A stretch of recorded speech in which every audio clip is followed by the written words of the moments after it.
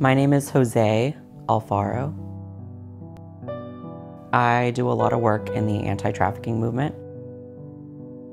It was probably the most horrible times in my life. I just felt so down and so helpless. I was speaking with a woman named Laura Powers at Polaris, and I'm sharing my story, and I get to the legal process. And she says, Jose, I think you should get some advice from someone that I know. And so she gives me a number of a woman named Martina Vandenberg. And I remember I sent an email. She calls me and she's like, Hi, Jose. I've been waiting a really long time to talk to you. I've been following your case from the very beginning. And she said, I'm so proud of you. She said, I'm a bridge that connected you to your civil attorneys. I felt so alone for so long. And to hear that there were people looking out for me in moments that I didn't know, it meant everything to me. What she has done for me and what the Human Trafficking Legal Center has done for me, I can never thank them enough. I grew up in a very religious town, conservative town. There comes the time where my father gave me an ultimatum and he says, either you are going to conversion therapy camp or you're getting out of my house.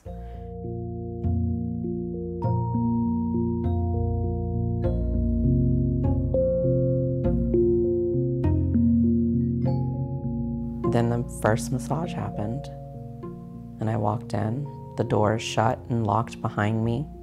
There's a naked man on the massage table. Jason just nods his head yes, and I knew what that meant. It meant take your clothes off.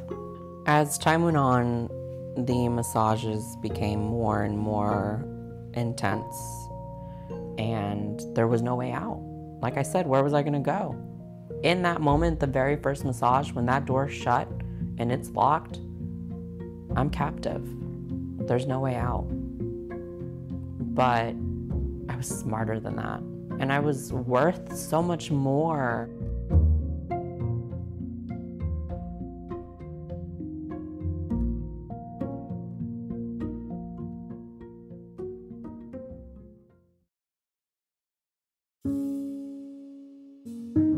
In 2014, I was ready, or I thought I was ready to move on with my life. And a friend came to visit me and he says, There's an article that came out, and the guy who did what he did to you is in prison. my friend says, You should probably call this hotline. And then they reassured me that I was not going to get in trouble, that what happened to me was not my fault. That was the first time I put a title to what happened to me, and that was human trafficking. Then that led me to the trial. Little did I know that this was going to take six, six years. There were many moments where I felt lost, but then there were many moments where I felt so empowered. And I wouldn't have felt empowered without the help of these attorneys. There are many reasons why I share and advocate, and it's not just to end human trafficking but it's also to help others identify through my story and say, what is it that he did to become the person that he is today?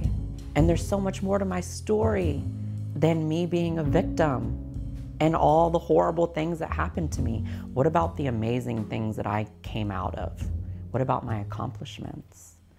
And that's something that the Human Trafficking Legal Center saw in me. And they said, Jose, when you speak, you speak with passion.